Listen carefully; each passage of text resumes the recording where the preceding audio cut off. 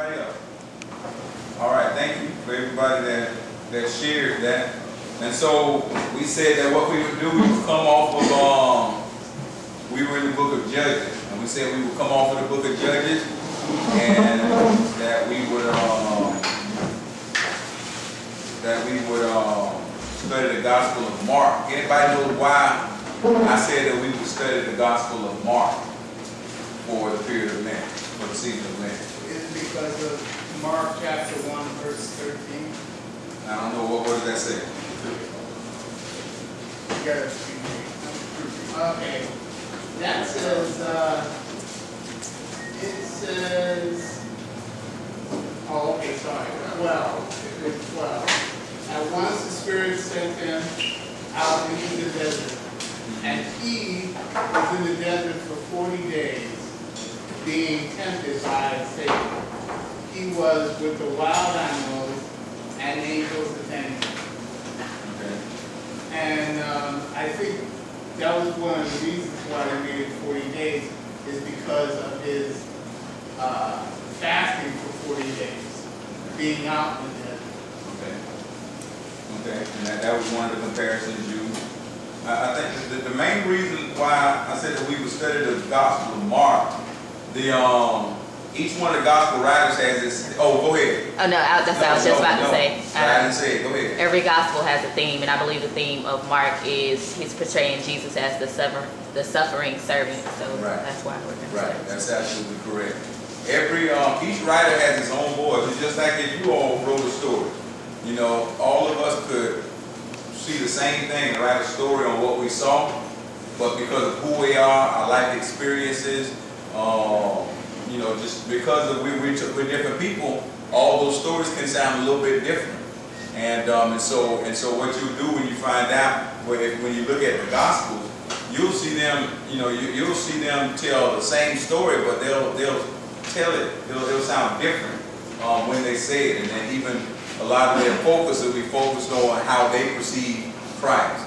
And, um, and just like Octavia said, um, Mark, I mean, his view of, of Christ it had, had a lot to do with the suffering, you know, of Christ. Um, John, you look in the Gospel of John, you see a lot of miracles, more miracles than you see in any other, in any other gospel.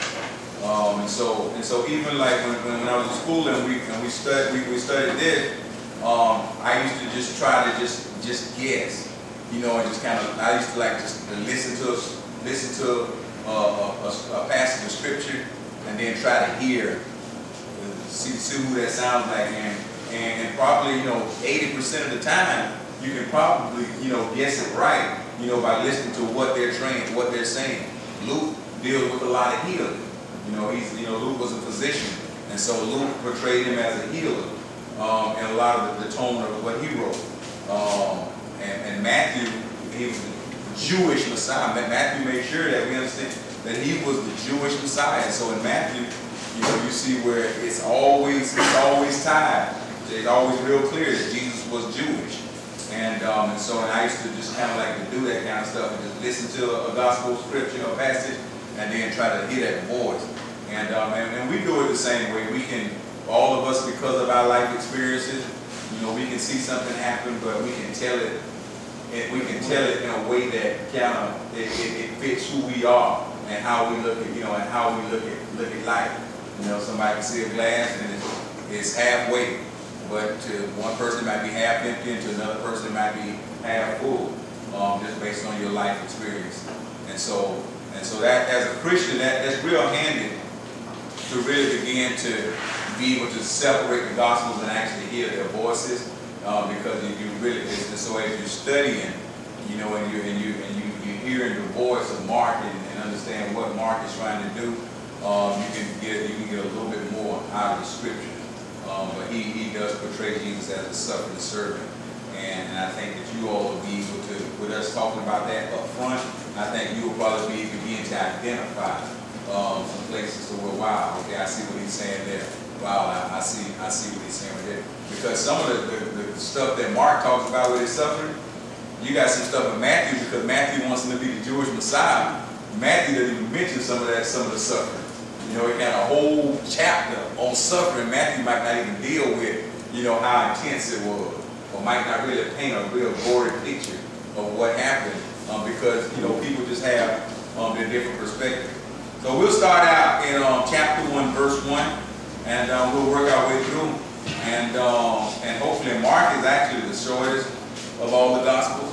And, um, I think it's sixteen chapters, if I'm not mistaken, um,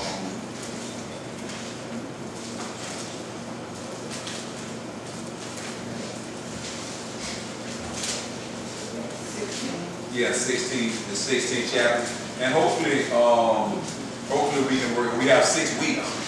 Um, so it's gonna take some looking, uh, but, but, um, but hopefully we can, you know, we can get through a good portion of it, and we might extend it on through and go back to Judges whenever we finish. But, um, we'll, we'll see what God says. But, um, so if I can get somebody to start reading for me in Mark, the first chapter and start out in the, um, in the first verse.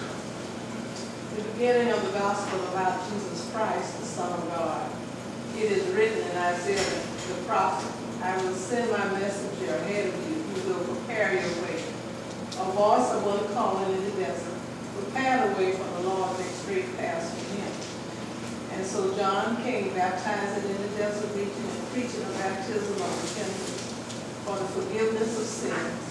The whole Judean countryside and all the people of Jerusalem went out to him, confessing their sins. They were baptized by him in the Jordan River. John wore clothing made of camel's hair with a leather belt around his waist, and he ate locusts and wild honey. And this way his message, after me will come one more powerful than I, thongs of whose sandals I am not worthy to stoop down and untie. I baptize you with water, but he will baptize you with the Holy Spirit. Okay, so this is the start of Mark, just for just, just looks. Let's look and see how maybe Matthew, how he started out, how he started out his, um, his gospel in chapter one. Let's go read that in.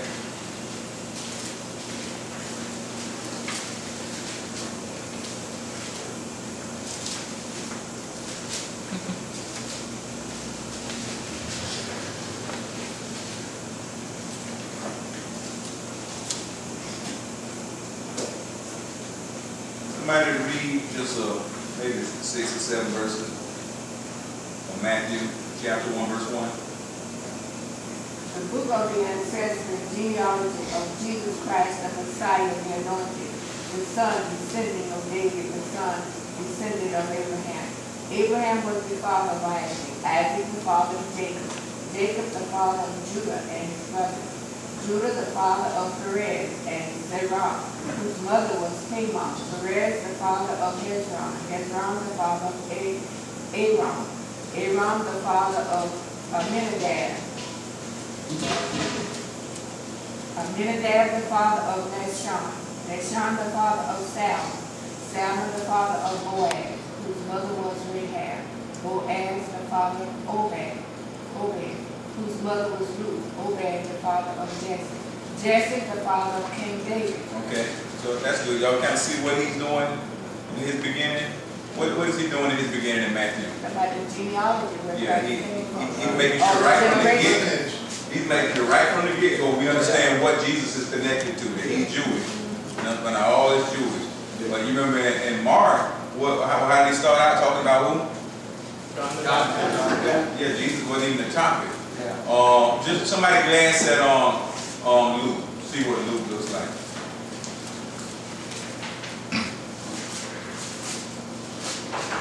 Many have undertaken to draw an account of the things that have been concealed among us, just as they were handed down to us by those who from the first were eyewitnesses and servants of the word.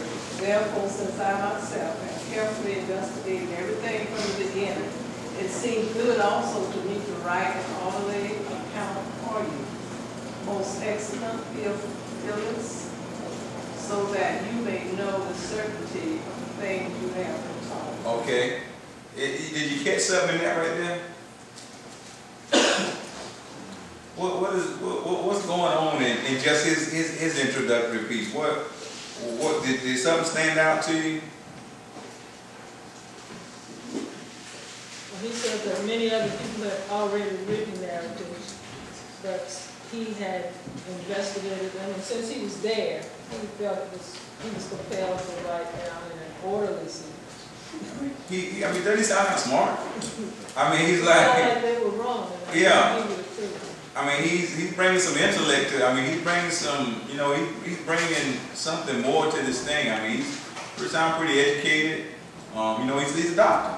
And, um, and, uh, but you see the approach when he comes, you know, minutes, you got other, other folks that they've talked about these accounts. Um, but, but this is, you know, I've done some research and, um, and, and I'm coming from this, I'm coming from this angle right here. You know, he has his own voice. Looked like he was identifying, Huh? wasn't he identifying? I- Identify what? The ones that they were speaking of in, in, um, Matthew. I guess you got no. Tell me why you said it. To me, it seems like he was identifying the recipients, the names of those. I. I, I think he's acknowledging, you know, Matthew's done his thing, you know, um, Mark has done his thing, and, and, and, and what I'm doing is, you know, I, I'm not saying I'm doing it, I think mine has a little more research involved in it, mine, I've done some, I've done some homework, and, and I'm gonna bring it to you, you know, from, from this angle right here.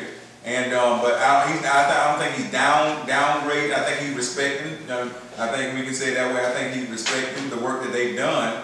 And, and he's kind of saying, you know, I'm, and, and, and, and I'm gonna bring it to you from this perspective right here. Um, yes, ma'am. According to this, Luke was a physician, so therefore he's breaking, because he evidently felt that he had delivered them, so Mhm. he's gonna tell you how they were delivered in Right. what order. Right. I mean, he- he's an educated man. And, and, um, and, and, and on top of, and, and so you're gonna have that piece, the education piece, and then you're gonna have, he's a physician, and so, and so you're probably gonna see a lot of stuff that has to do with him being able to, to be to heal, you know, and, and, and, and deliver and, and, and be, you know, um, fix the problem. Um, you probably gonna feel a lot of that in Luke. Um, George? Well, he was more practical. Um, you look at, uh, which is also written by Luke. He's more, uh, he'll tell you what, what steps have been going on, even with Paul and his, uh, uh, his journeys are more accurate than in Mark. And Mark is more rough than, uh, all the other gospels. Mhm.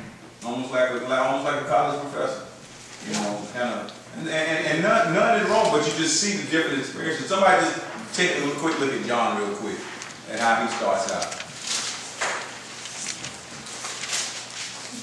In the beginning, the Word already existed. He was with God, He was God. He was in the beginning with God. He created everything there is. Nothing exists that He didn't make. Life itself was in Him. Okay, and, and John's approach, what, what, I mean, John, how, how does John sound? Huh? But I mean, there's nothing natural about what John's talking about. Like, in the beginning was God, and, and, and, and- I mean, he's already just jumped right on the supernatural part, even the word, word was in him, I mean, John, uh, John not even started out like, this was a regular man, you know, and, and, John, he starts out with the miraculous. If you listen to those words that Judas said, I mean, there's nothing natural about that. In the beginning was God. And how, how does it go, Judas? In the beginning, the Word already existed. He was with God. He was God. And, and, and so, I mean, oh, all man, he's, he's, John is like, this is not just a man. You know, this is, this is supernatural right from the get-go. You know, this, this, this, this man that we're gonna spend a, spend a whole gospel talking about, please be real sure that this is God. You know, he, we're gonna call him Jesus, but he was God, and he was, he was right there in the beginning when God started doing all his God stuff. He was right there with God. And that's what, that's how he comes right off the, right off the bat. And that, that's his voice, and that's his angle that he's taking. And so he's never gonna leave you wondering, is this, you know, he's real clear. This is God that I'm talking about. Judy, you had your hand back up? No, no, not really. Okay. Okay. And so I, I did that because I just wanted you all to catch the voices. Um, even though, and this is sometimes where people, you know, this is sometimes where people, um, some people get frustrated with, with academia when it comes to, when you start applying academia to scripture. Um, but I, I think it, it takes you to, a, I think it, I think it helps.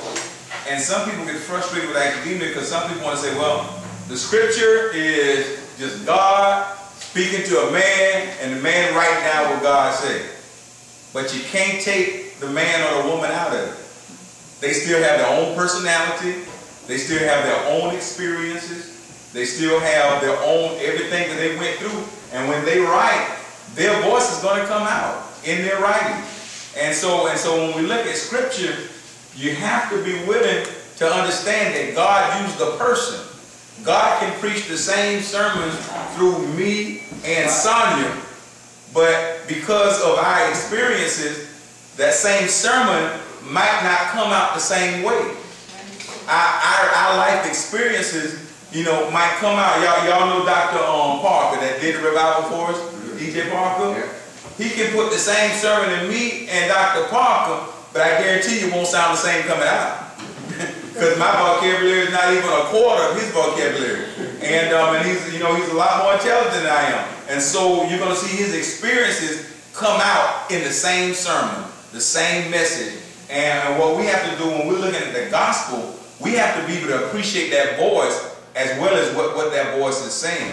Because, because, because then we can understand where that voice is trying to take us. And, and sometimes, you know, I, I can tell you something, but sometimes you're able to take my experiences. I can tell you a story. I can say, yeah, I saw an accident, and this is what happened, that's what happened.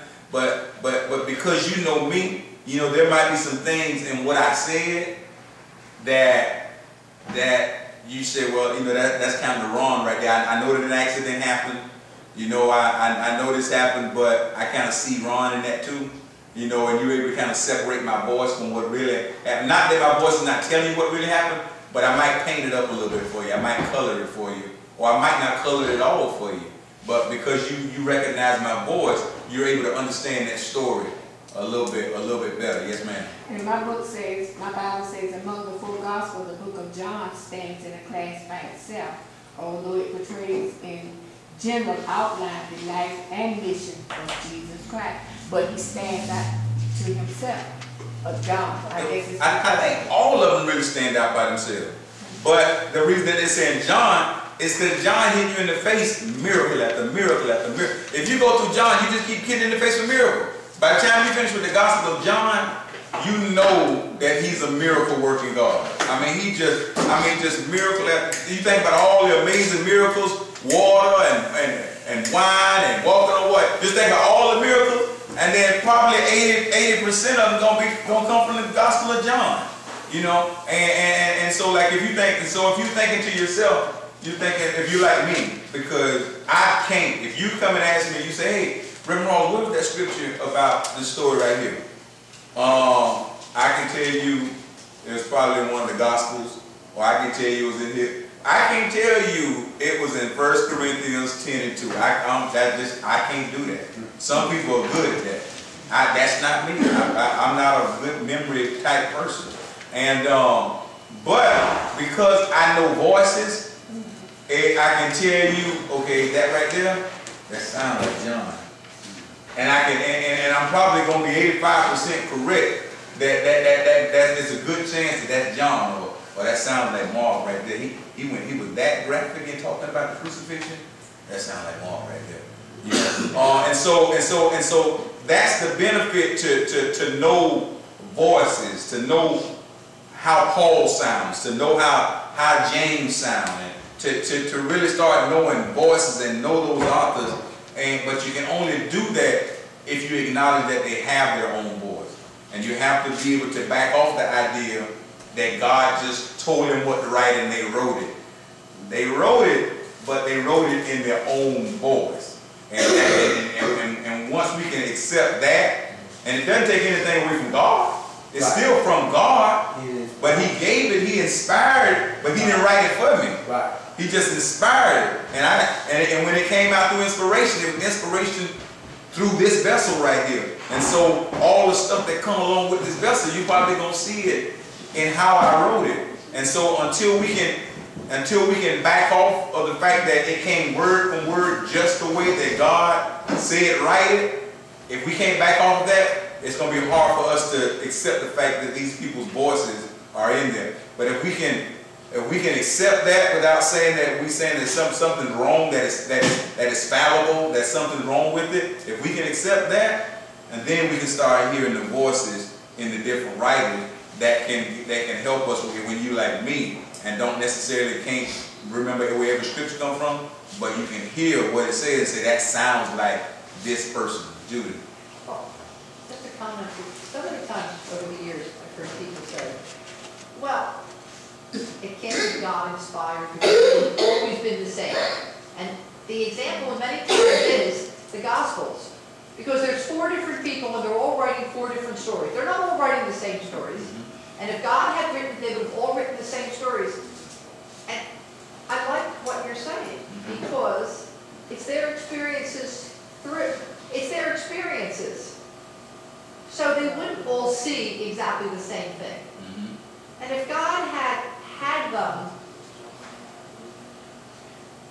if, he would have only needed one person, if only one person needed to write that book.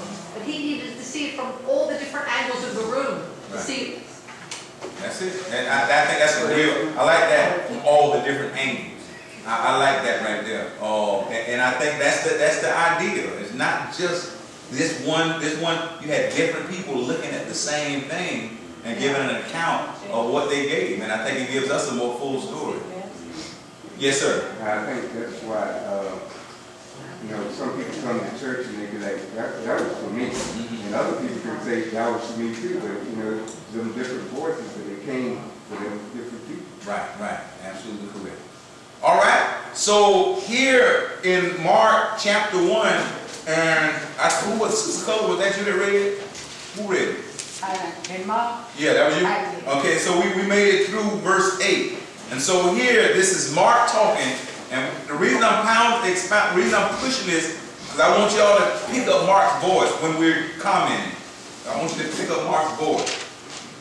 And so this is Mark, and, and he's saying this is the good news about Jesus, the Messiah, the Son of God.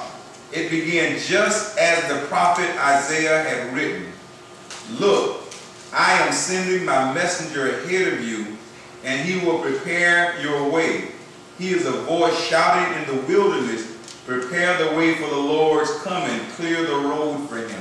And so just right off of the bat, he refers to something Isaiah said, but in, in, in, in- but in what I, in this thing that Isaiah, in this account that Isaiah gave, it, it, it was far, it was far from majestical. You know, it got this man out in the wilderness. You know, and I mean, right now he's talking about, you know, and we get ready to go into the John, the whole John story. Um, I guess the first thing we catch, we catch in there, he doesn't even necessarily um, begin talking about, you know, just he doesn't even jump right into Jesus, but he jumps into the, the struggle. And, and there's this voice out in the wilderness. And if you think of somebody just out in the desert, out in the wilderness, just crying out, you know, there's nothing pretty about that. You know, there's nothing majestic about that. It's almost a, it's almost desperation to be out in the wilderness crying. And this is this picture that Mark is because this this is his view of what's going on, almost a, a, a desperation thing. And he says, and this voice is out in the wilderness crying, says, prepare the way for the Lord's coming, clear the road for him. This messenger was John the Baptist. He was in the wilderness and preached that the people should be baptized to show they had repented of their sins and turned to God to be forgiven. So all of a sudden, right out the right out the right out the um, gate, he's addressing that that the people are broken, the people are in need of something, and and, and, this and this person comes to prepare the way for, for the one that's to bring it. Um, but but he, he's dealing with need and uh, a, a need to fix something that's broken. Um, um, right, you know, right out of the right out of the gate. And even when we talk about the idea of looking at this right here for for Lent season, you know, in our whole conversation last week, Lent doesn't mean anything to us if we don't realize our brokenness. You know, if, if we think that if we think that everything is fine, that there are not some things that, um, it doesn't matter how together your life is, um, there's always some brokenness to be able to go and deal with. There's always some brokenness to be able to go and address and say, you know what, I gotta, I, I have to improve in this area. You know, I have to improve in this area. You know, I, I, it, it, it was easy for me to find, you know, what, what I'm gonna sacrifice for Lent. You know, uh, and, and, and so you, you have to be able to, um, um, kind of take this view that Mark takes, um, and, and, and be able to, not that you're woe with me, but you have to be able to be willing to, to look in the mirror and acknowledge that there, there's, as good as I'm going right now, good as things are, there's some areas that I, that I really got to work on in my life. There's some brokenness that, that needs to be addressed. And, and God bless you if, if you just, if you just keep staring at your life and, and you can't find anything that needs to be improved. God, God bless you. And I want to be like you one day. Um, but, but I'm, but I'm not like you now. Um, but right out the gate, he addresses that there's some brokenness that needs to be addressed. All right? Anybody? Comments? Questions? All right, and so then he goes on when he talks about this person is coming, but John the Baptist is going to um, preach repent, tell people repent of their sins and turn to God and be forgiven. All of Judea, including all the people of Jerusalem, went out to see and hear John.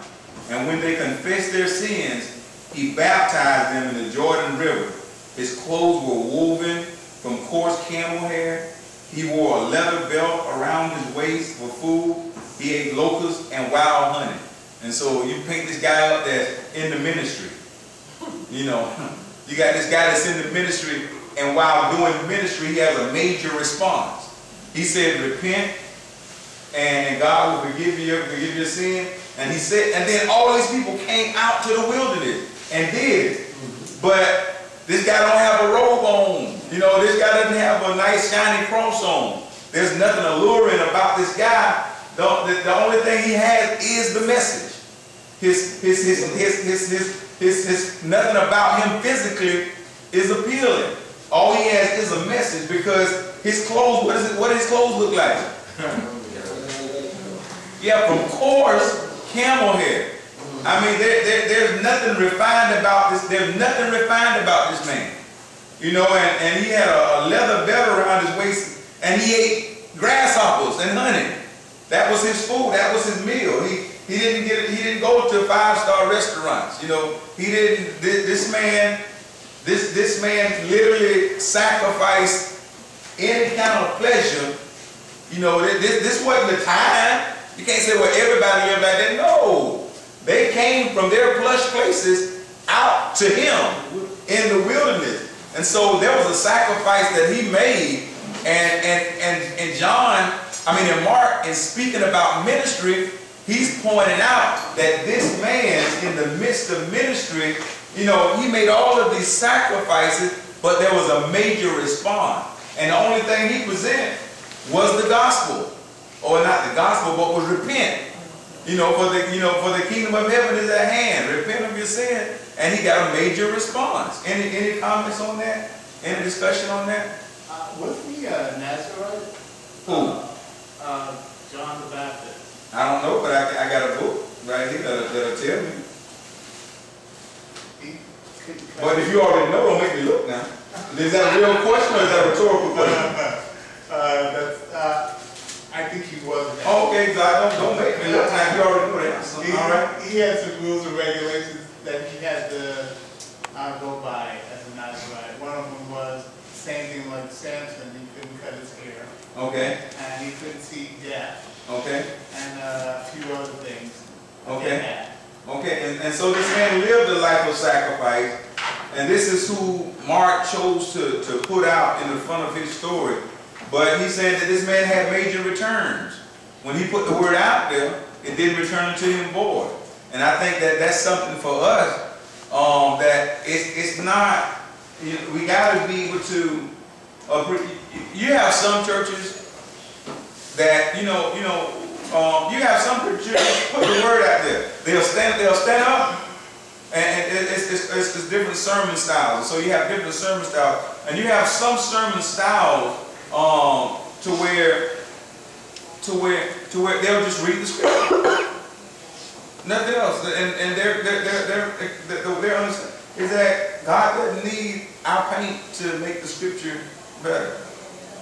This is what the scripture says, scripture by scripture, word by word. He don't need, he doesn't need me to make analogies, he doesn't need me to, to, he doesn't need me to tell stories to make it clear. This is the word, and now this word can make the difference. And there, there are people that preach sermons just like that, because their view is, what can I add to the word? I, I can only, I can only make it worse. The word is, is, is as powerful as it's gonna get, all by itself. And, um, and, and, and, and, and, and in this right here, this is all he's putting out there. Repent, for the kingdom of heaven is at hand. There's nothing about me that draws you to Christ. There's nothing about, about my lifestyle that draws you to Christ.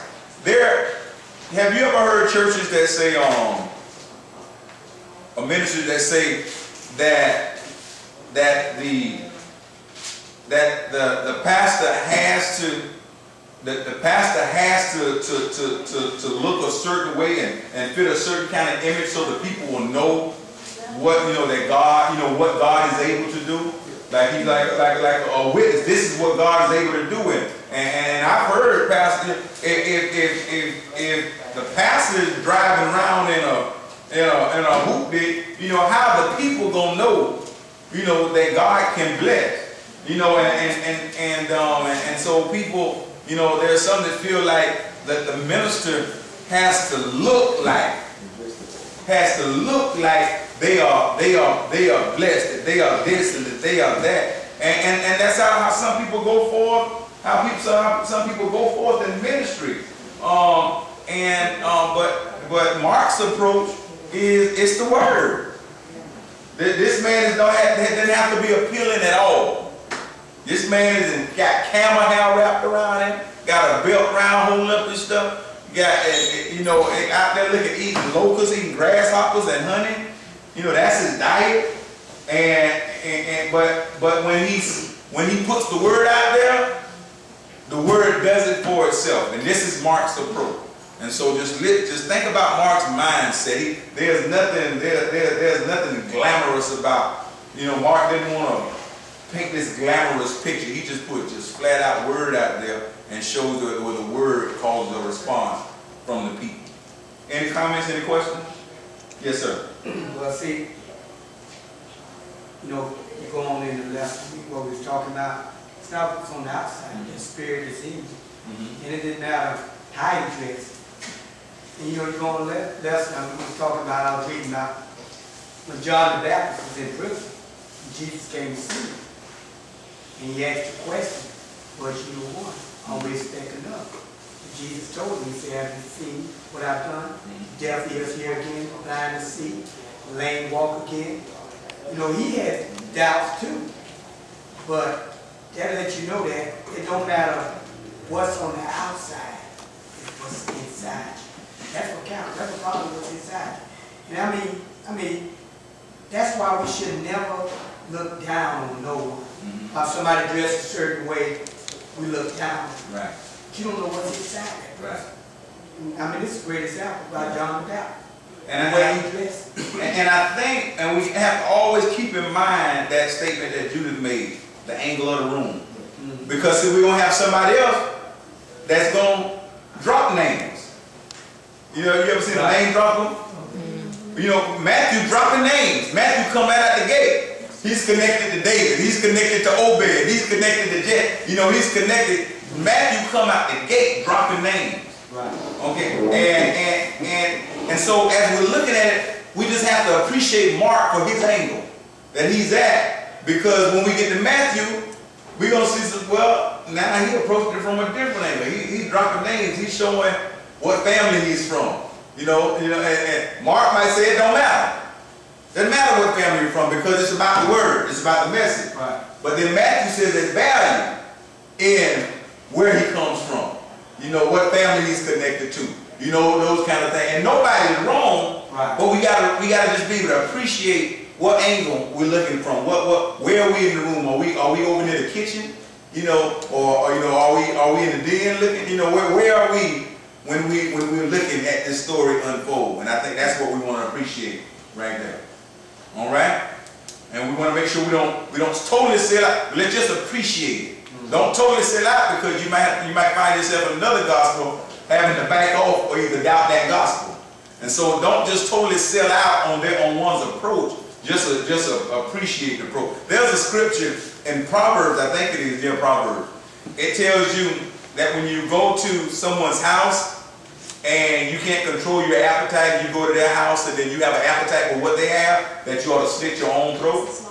That's in, that's in the book of Proverbs, and basically what it tells you, you have to be able to go into somebody's house and appreciate what they have without wanting it yourself. Because if you, every time you see something somebody else has and you have that appetite, that you, you, you're gonna, you're gonna end up in a very unhealthy state because you're trying to eat everything that you have rather than just be able to, you know what? I appreciate what Sister Melvin has at her house without me going back home and saying, you know, baby, we got to have this. You know, I, and, and so and so you got to be able to control. And so even as we're looking at these gospels, let's appreciate the way Mark looked at it, but don't go all the way in and say Mark is the only one that's right. You know, that, that approach is the only, let's just appreciate that approach right there that says, you know what, there's value in personal sacrifice and value in understanding that, that just the word alone can do it. Because there's somebody else that we're going to respect later on they might come and say, well, no, but there's also some value in a little cream, you know, a little fluff. All right? All right? So he said, so, so, so it says in verse 7, John announced, someone is coming soon who is greater than I am. So much greater that I'm not even worthy to stoop down like a slave and untie the straps of his sandals. I baptize you with water, but he will baptize you with the Holy Spirit. John's approach right off of the bat I'm not even the man. You know, it, Mark just, he's this backseat kind of man. He just, it doesn't have to be grand. It doesn't have to be, he's just this backseat kind of man in his approach to ministry. And so John is doing a great work. You know, he's doing, he's getting some amazing response. I mean, anybody that does ministry and take ministry serious, I mean, that's your goal. To be effective at what you're doing. And I don't think it's just ministry, I think it's life. But that's your goal. I don't, believe me, I don't, I don't, I don't come to St. Augustine every day to just do stuff. I, I want to be effective. I want to see increase. I want to see production. And so, and I think anybody that's purpose driven, you know, anybody that's purpose purpose driven wants to see progress, wants to see increase, wants to see efficiency in what they're doing. And so, and so, um, and so, um, and, and so John, so right here, this picture that he's painting, he's, he's like, you know, these guys right here, they're productive, but it's not about them. You know, he, he talks about John, and then the first thing he says when he's talking about, then he's, the, the, the way he's showing John said, that John is saying, I'm nothing. You know, he paint, he, I, yeah, I, I, I, I'm, I'm nothing. It, it's somebody, I, I'm not even worthy the man is coming. I'm not even worried to be like a slave to him and tie the sandals of his shoes. Ty, did you hear that? Called it like 20, 30 minutes ago or something? I thought I saw that when you ain't something? Yeah. Okay, but it's gone. Nah, it's it- it's cool. Okay, okay. Uh, yeah, hit it two or three times. All right. And so somebody pick up for me in verse 9, but just keep this voice in your ear. In those days, Jesus came from Nazareth of Galilee and was baptized by John in the Jordan. And when he came up out of the water, at once he, John, saw the heavens torn open and the Holy Spirit like a dove coming down to enter into him. And there came a voice out of from within heaven, You are my beloved Son, in you I am well pleased. Okay, check this out. Um, this is the voice. I want, I want to figure. So, what's the picture that he's painting up that just happened right here?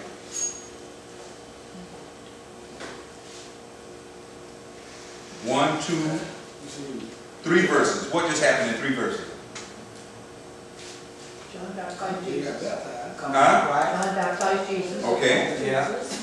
And the Holy Spirit, a a dove came down, and the voice came from heaven. God claimed Jesus as his own. So, so okay. So let's look at the, the voice that we've been hearing. Everything has been kind of, kind of belittling, not belittling, but, but, but not lifting up everything. Um, John is showing that I'm nothing, then all of a sudden Jesus comes, and how is, how, how does Jesus look in this story, in this, these three verses? Like a dove. Huh? If he thinks it's sending out. Well, the spirit came on him like a dove, but how is he looking? This, him as a, as a person, how does, how do these three verses make him look? Makes him, uh, Being fulfilled. Uh, okay, being fulfilled, to proven, proven. It, it kind of, doesn't it kind of exalt him a little bit? yeah. That's what God was doing with his son, because he was well pleased with it, but he was showing the people who Jesus was, as, as, as John baptized him, and when he came up out of the water, the dove, you know, came over, like, as of the Holy Spirit. Uh-huh. So the Holy Spirit is, is, is very mighty, the, the, the third of the Trinity, right? Right. So, hey, so that, he, God was showing the people who Jesus was. Right, right. And so, go ahead. A declaration. a declaration. And so just imagine, but this is different from what's happened before. Everything has been kind of suppressed. Suppressed, no, no glory, no glory, no glory. And all of a sudden it looks like Jesus is getting glory, right? Right. This is my beloved son in whom I'm well pleased. Mm-hmm. Jesus had two verses of glory. Three verses of glory. Watch what happens in verse 12. He get three whole verses of glory. And then watch the first, once this is declared that this is the Son of God and we well pleased, he only had three verses of glory. And look at what what happened in verse 12. Somebody start reading for me in verse 12. Immediately the Spirit drove him into the wilderness, and he was there in the wilderness forty days, tempted by Satan, and was with the wild beasts, and the angels ministered him. Bam, that quick. He got three verses to be lifted up, and all of a sudden, he's out in the wilderness. He got three verses to be the Son of God and to be the Messiah. What's to the? But then the, the next verse, now he, he that I mean that if that's not called bringing you back down, you know, I mean, but that's that's that's Mark. Uh-huh. You you're not gonna find anybody. That's what Mark does. Mark Mark Mark Mark sees Jesus getting that glory, and all of a sudden he but he, this is what happens. Is soon and you're gonna find another you'll find another gospel that that'll stretch that out for, for scriptures. He this is my little son who he well please. that that'll stretch that thing out and and then even afterwards, you know, uh, but but he said but he lets him get a little bit of glory, but because of his experience, because of hi- who he is and his voice, immediately it turns to, but he suffered again. And that's going to be the recurring theme. He's great, but he suffered. He's great, but he suffered. You know, he's great. And, and sometimes in life, there are even some Christians that really look at, I'm going to stop. Go ahead, Tom. Because I was going to get on it again. Go ahead, I, on. I, I was just thinking about, cause you know, like say, know, three verse boom, he exalted, boom, then he thrown into the wood. It just reminds just, I guess, just things that, that happen in life, like, uh, I guess, you know, not really out in school, but you know, okay, boom. You got to school, okay, everything good, boom. Right back to work. You back to work, it's time to work, it's time to school, it's time to go. And, you know, so, I guess, you know, when you, when you think, yeah, you know, it, it's fine, but you got to really, hey, it's, yeah, that's, in that, you just looking at each round, okay, well, hey, it is, but guess what? It's work that needs to be done. So we, hey, yeah, I'm gonna do this, but it, it's time. I got time to mess around. Y'all need to go back down. I need to handle it. And, and, but they're also Christians because sometimes we'll look down on Christians. There are some Christians that their life is a constant struggle. They love Christ. They, they, they love Christ, but but their life, the way that they are looking at it, it's a constant one thing after after the other. After, eh, eh, like mount, it's constant mountaintops and valleys, mountaintops and valleys, and and, and some. But sometimes we belittle those types of Christians, and and, and, and basically like you know, make, make look at them as unstable or, something like that right there. But but I think when you start to learn to appreciate the voice that's affected by the story, that person's story, you you you, you see you see you see Mark and, and and and you see Mark that that he doesn't even let it get real good to where there's another struggle. There's another struggle. And we just keep going, but we're gonna keep seeing this play through, play throughout the scripture to where he he, he, he, points out that wow, good, good, good, but wow, struggle. Jesus, Jesus, but struggle. The Messiah, the Messiah, but struggle. And, and I'm just wondering, this is the question for me that I don't have an answer. But, you know, people that deal with life, you know, you have some people that, you know, say that, you know, God just, if they blessed, that, you know, that life is good and they always, you know, just happy and, and, but then you have some other Christians that they, they just that saved, but life is not always what they call a glass, uh, eyeglass, glass roses or something. Yeah, rose what? rose colored glass. Yeah, life is not always rose colored glasses to them, you know, and, and, and they might they might not, not, not always be, you know, the giggly one and the, the but and, and, they might take life a little bit more more serious and and, uh, and not that other people don't, but I'm just asking a question, a person that kind of looks at life as like you you you ever heard the saying people say life is about storms either going in a storm you're in the middle of a storm or coming out of a storm. And some people look at life that's not how I look at life. But some people look at life like that. It's, it's a storm. You you in one You're coming out of one and you're going in or, or, you or you you're about to go into one. And but is that wrong to look at life like that? Because it, it like Mark looks at it like that to me. Remember when Jesus took the cross, when they put the cross on Jesus' shoulder, and he carried his struggle with that cross all the way to Gethsemane, all the way to the uh, place Who where. you think probably told that story? Him carrying a heavy cross like that right there. Who told that story? Who you think probably told that story? Uh, One of the, it's in one of the gospels. Okay, so, and he says for us to pick up our cross and follow him. So why do we think that we are not have trials and tribulations? The Bible says that. And we all, I always hear you say, to whom much is given, much is required. That's right. That's right. So when we are in the Lord, look at how all the uh, prophets, how they went through so many trials and so many tribulations. A prophet, you're a prophet, right? Okay, look at the different things that, everything that comes your way is not as easy as you think. So back to, all things work together for the good of them that love God and are called according to his purpose, not your purpose. Right. Everything that you're doing is the purpose of God because you're a child of God, you've been called, you've been chosen, and yet you're still doing the will, the will of God. You're allowing God to use you to do. Back to like to the, back to the scripture again. You say, listen at the voices of these these these these uh, gospels. Each one of them are telling the story. The story that you tell is because God, the God in you, is not who you are, but it's whose you are. Right. That's right. And, and that's what I just want us to catch the, the, the voice. You know, just just catch that voice. And, and when we start learning that voice, like I told you, 85% of the time, you're not going to always be right because you have a lot of cross stories. But 85% of the time, when you, you can catch that, you can catch that, that voice. And, and I think that, I, I don't think that we can, I don't think that we can, can invalidate somebody that looks at life like a storm. You know, you're in, you're coming out, or you're going in one. I don't think we can take, I, I don't think we can take, I don't think we can take the credibility of, away from somebody that looks at life that way, because that, that is an angle. Based on where you are in the room, you know, that might be the angle that you're looking at, at, at, uh, at, at, at this Christian life in. And I don't think we can, we can devalue somebody's perception because that's how they look at life. I don't think so either, Pastor, because each one of us is gonna have a trial. And we can't look at each, and each one of the trial is gonna be different. Right. So we have to be able, as a Christian, and the love of God in us, we have to be able to accept each person as they are.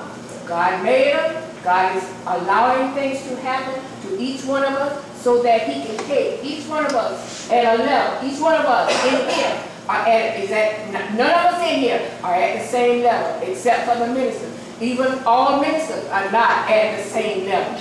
Because of the fact that God takes them level because there are times that you say you go through stuff and because he's teaching you like you say, because of your experiences and because of the things that God takes you through, because he says that I will never leave you, nor will I forsake you. So in order for you to grow in what, I mean, and God don't have to do that. Sometimes he allows things to happen to us so that we can perceive who he is even the more.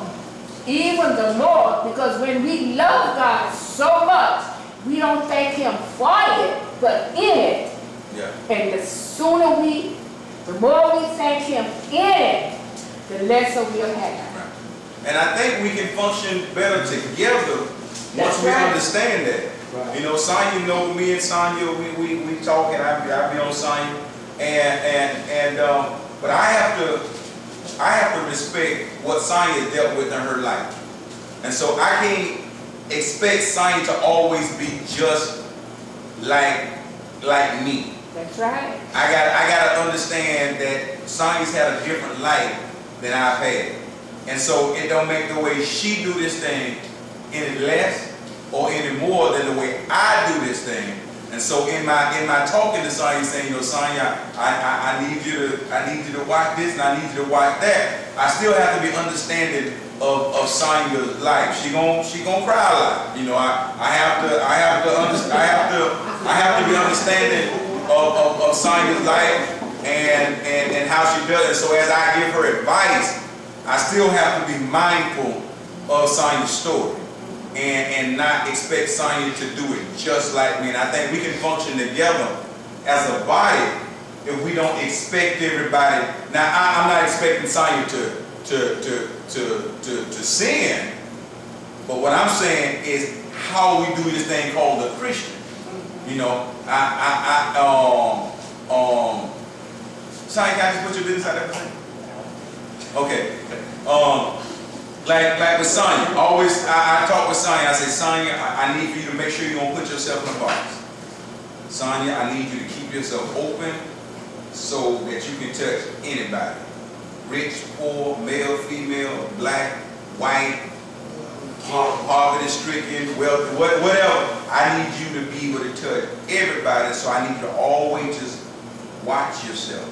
You know, just make sure you keep yourself open to where people can feel comfortable approaching you, um, especially since you're your evangelism. But in wanting that, I still gotta be able, to, even though I want Sonya to be able to do all this stuff, I still gotta, I still gotta respect her story. And she might not always be as bubbly. Well, I'm not always bubbly either, but but she might not be always. She she might have stuff that she she has to deal with.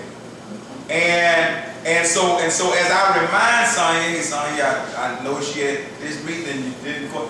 I, I I still gotta I gotta have some lead. I gotta have some give. I gotta have some give and take. And, and understand that she still has her own story. She she still cause she she not she might be in a different place we all in the same room, but she might have a, a different angle that she's looking at this thing from. And if I can respect that angle and share with her my angle so that we can all kind of understand each other's angle, we can do this thing a lot better. But I think I think we get caught up in the body of Christ and, and not separate churches, but even in one church, we get caught up in thinking our angle is the only right angle.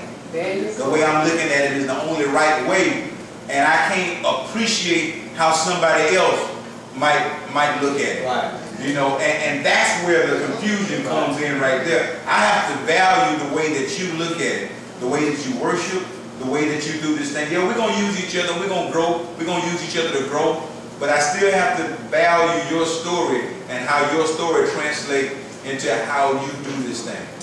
Does, does that make sense to anybody? Yeah. Yes, Judy. So many churches don't look at the God in the person. They look at the actions.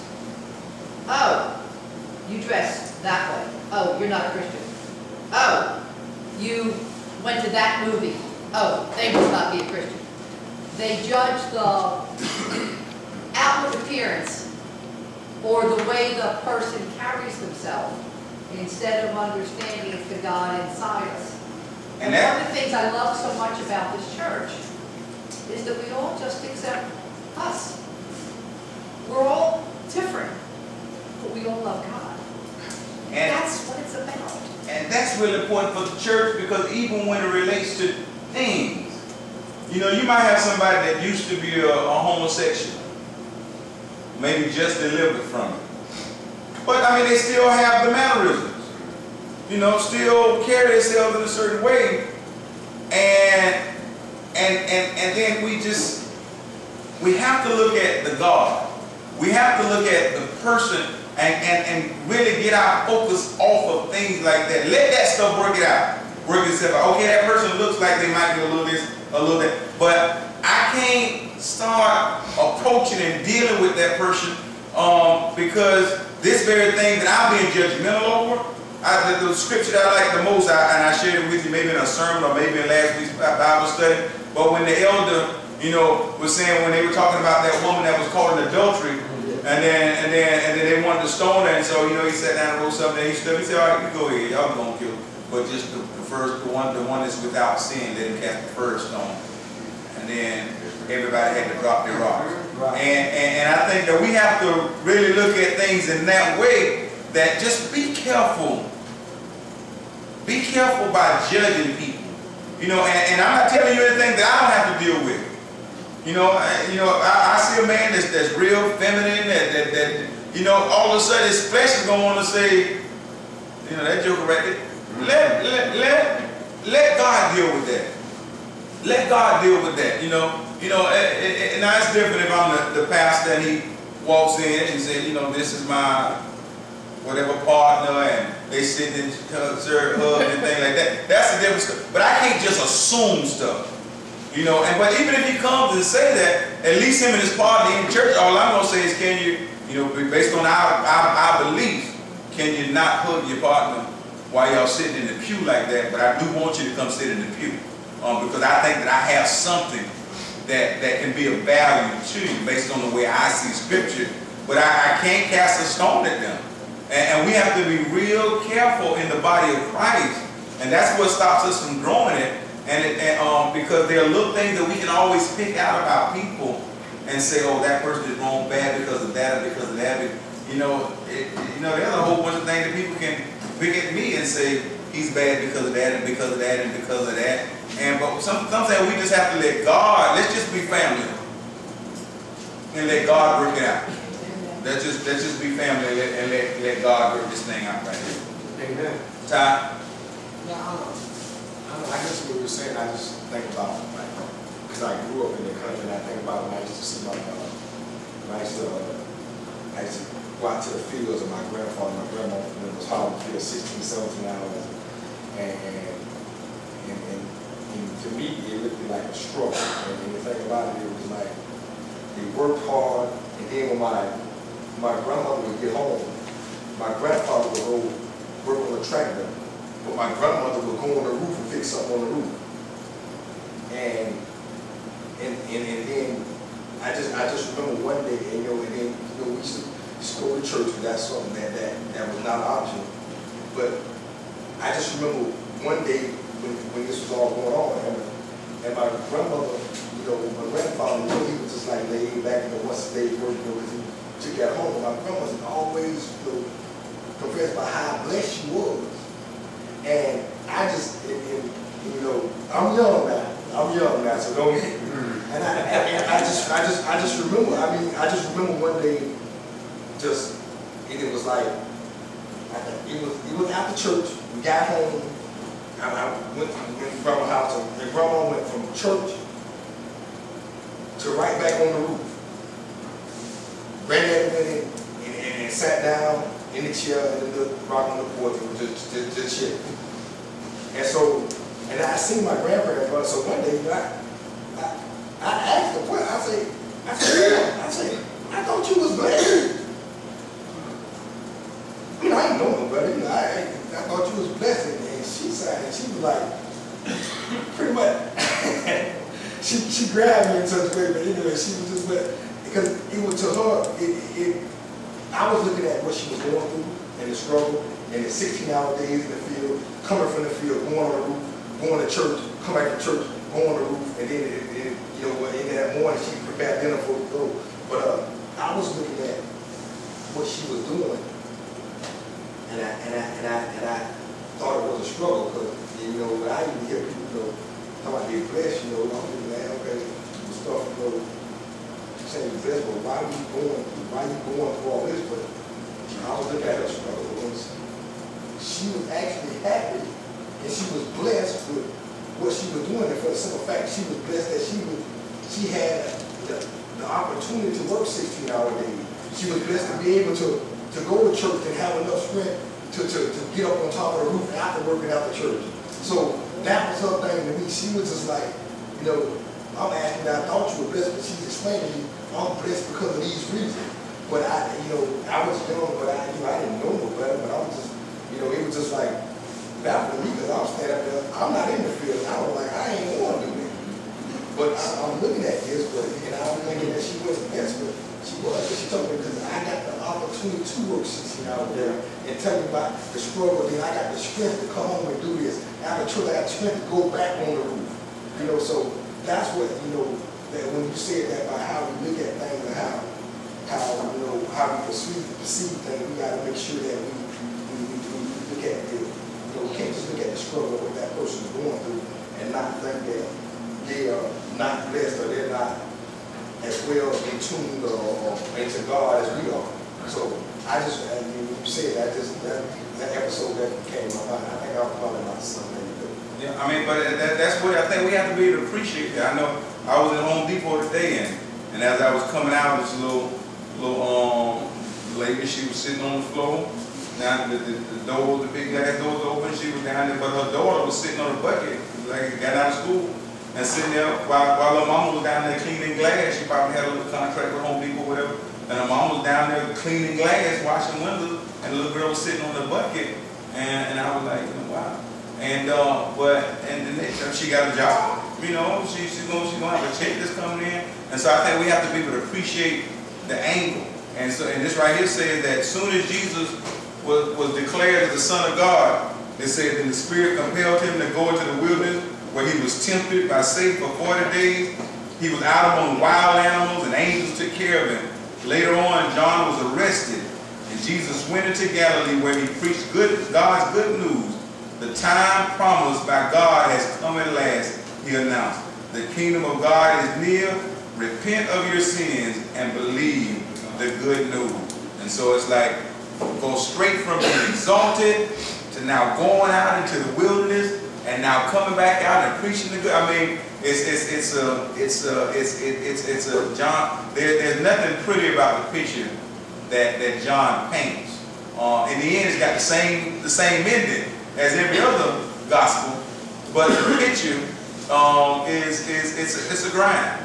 It, it, it, it's a grind. It's not rose-colored glasses, and um, and, and and so I think I think as we kind of reflect and and um, and continue in the gospel, the gospel of Mark, um, I think that you know we have to, as we look at this period of Lent, you know, appreciate the grind, appreciate the the, the struggle, you know, appreciate like Sister Color said, you know, I'm not going to praise God for it, but I'm going to praise Him while I'm in it, you know, and, and, and I think that, and, and learn to appreciate that aspect, because as a body, um, I think we're, there, there a lot of pieces that if we can just appreciate and understand that we have different voices, we have different struggles. All of us, my life is different from the life that, that Mary Davis, you know, lived. My life is different from the life that Octavia lived. My, uh, we all, we, we live different lives and, and our voices are different. The way that we see this thing called being a Christian is different, but if we can all appreciate everybody's angle, everybody's, the, the view that they're, they're standing for, where they're standing from, I think that we can function together better as a, as a people.